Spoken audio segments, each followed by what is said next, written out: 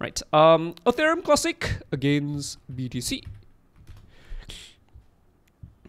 All right, so for Ethereum Classic, we are still in the downtrend, right? Uh, we have yet to break the resistance. Uh, Ethereum Classic against BTC is just not really looking that good. I wish I could tell you that things are going to reverse, but no, I don't see it. Uh, I think more likely than not, uh, we could be dropping much lower for Ethereum Classic against BTC. We have to respect the trend.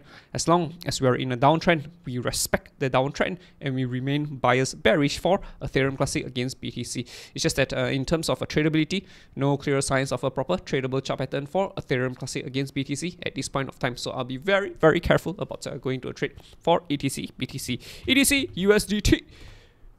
Where are we? Uh, yeah, we, we still have a target over here for ETC against uh, USDT at $14. We're at $32. We're like 100% away, actually more than 100% away from the targets, right? About 100% away.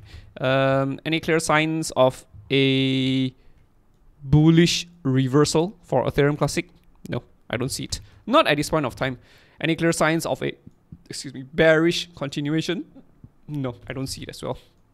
Ethereum Classic is just bullish at this point of time. So potentially we could still hit a little bit higher, but um, I'm, my fear is that we could still form bearish chart patterns and hit lower.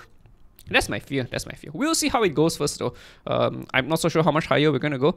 Uh, if anything, we would have already completed one, two, right, three, four. Is this five? Are we coming back down? Could we do a sneaky up, uh, taking out the stop buys over here and maybe here as well? And after that, uh, we build a bearish chart pattern and we continue collapsing lower. Not too sure. I'm not too sure myself. I don't see any clear signs of a proper bullish reversal yet. So yeah, Ethereum Classic is a no-go.